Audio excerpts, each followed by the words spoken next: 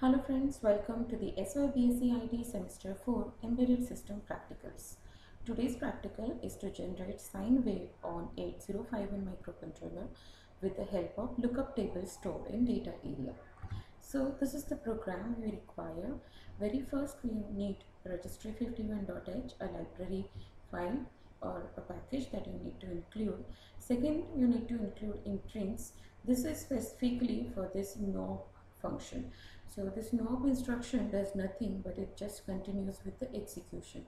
So generally this is used to create a delay in the program.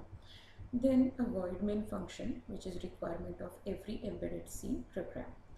Then we have taken one array of values, integer values.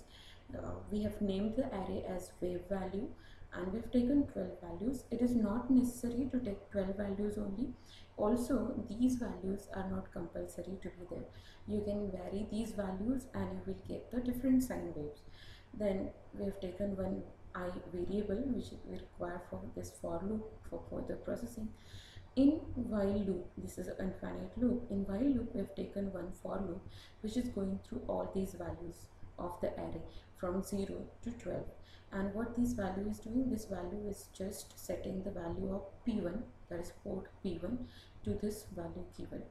And then we have called this NOP function twice. In fact you can call these functions for several number of times depend upon the delay that you want to use or the type or the time of the delay that you want to have in your program. Accordingly you can use multiple number of this NOP operations functions so here is how your IDE will look like once you will be entering or writing your code into the Keil software and this is how the sine wave will be created. This is actually just an impression of sine wave. It is not a truly sine wave because we have taken only 12 values to depict the sine wave. If you want the sine wave to be more smooth, you can increase these numbers.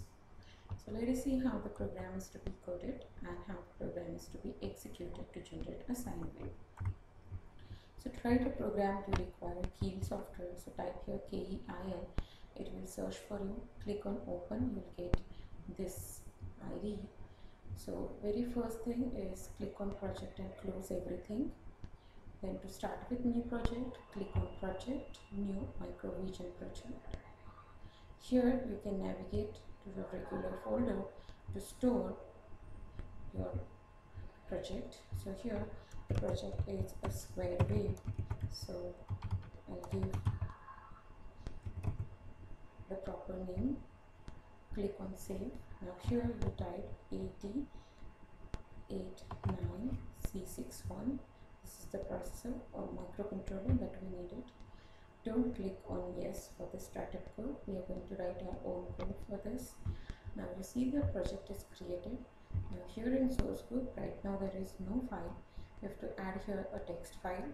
So click on this. You can also click on file and new. Here you can actually type your code but here i'm not going to type the code but i will copy paste my code as i have already explained this code. Here i'm just pasting the code right now this code is simple text file but we need to save it with .c extension and then it will become an interpreted code. So here I'll use the same name as my project name. Remember it is not necessary to use the same name for your C file but any relevant name can go. Click on save. Now to the source package we need to add this C file. So you see this became C file and all the keywords are identified.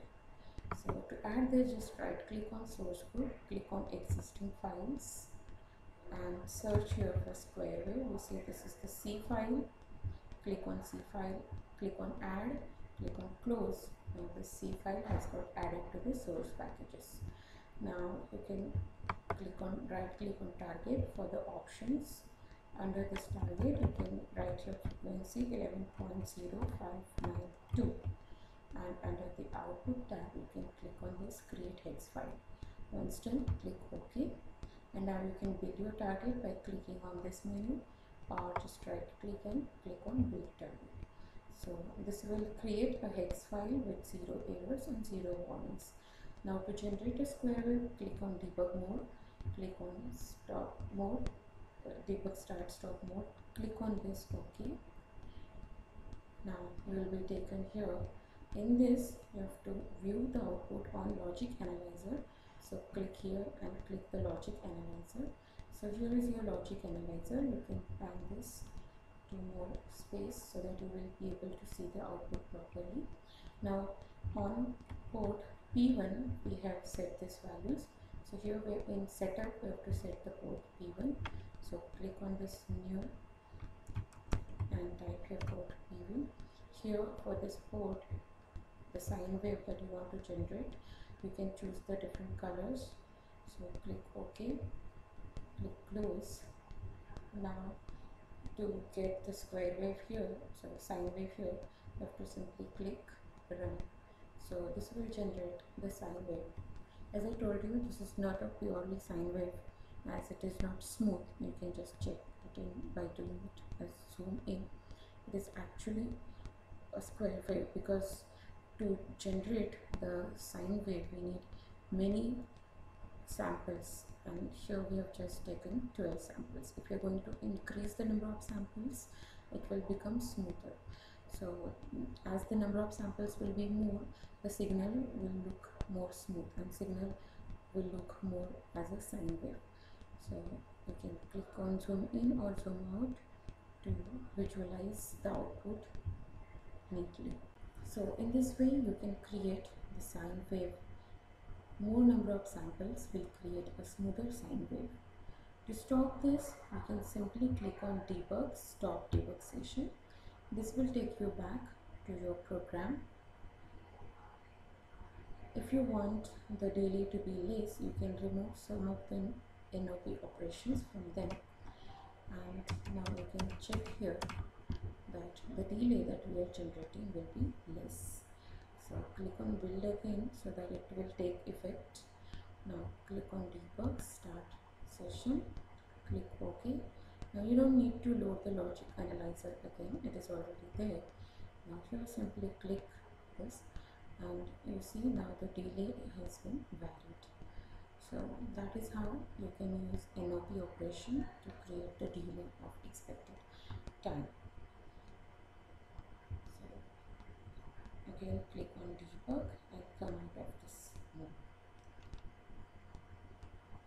Thank you for watching this video.